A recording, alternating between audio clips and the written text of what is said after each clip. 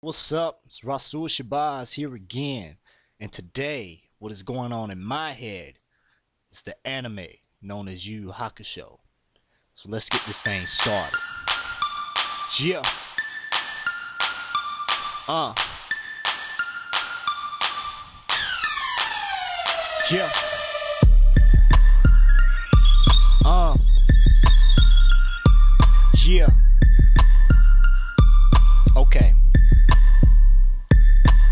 Story started, Yusuke missed school, but this dude, he was just too cool. He beat up Kuwabara each and every day while fighting off people who set astray, coming at him, talking about he the toughest dude. I gotta take him out. Yusuke is too rude. Principal always trying to have his back, but these teachers, they ain't have none of that. They hated him, man. They wanted to kill him. Know what I'm saying, man? They wanted to fill him up with badness like a bad apple.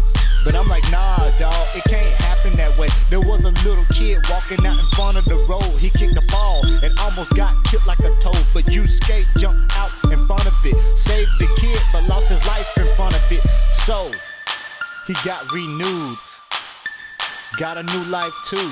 Koenma came to him and gave him an egg. Then he came back. He ain't even have to beg, so he's now the new spirit detective coming through. Yeah, he fighting the directive though. He went through, beat up Rando, became Genkai's new apprentice. Him and Kuwabara, yeah, they're all up in this. Fighting the four Saint Beasts, yeah, they felt defeat. Him, Kurama, he ate too. You know what I'm saying, y'all know what it do. Then after them, it was the dark tournament. Came after Toguro, yeah, he wanted it. He had his homeboys, Karasu and Bleed, but they got defeated, you see. They met you also in the long run, and Jin, the other people, yeah, they on the run. But I'm telling you right now, this is how it's going down. They came back and stayed in the town. They left the new world, but stayed at home. It got kinda boring since they were all alone, so they had to go back to that new world You world. you Yusuke, he fought Sensui, Shinobu to be perfect.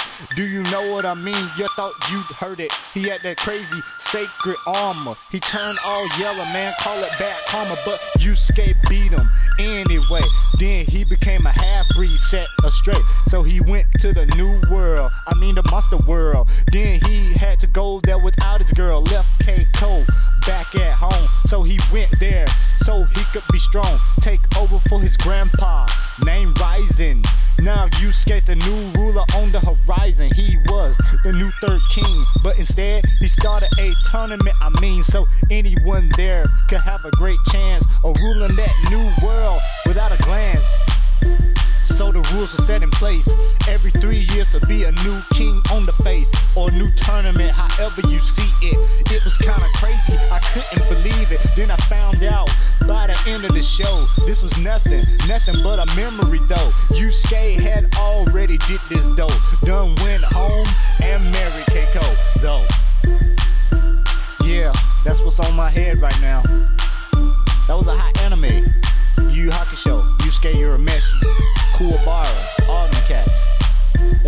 Legit.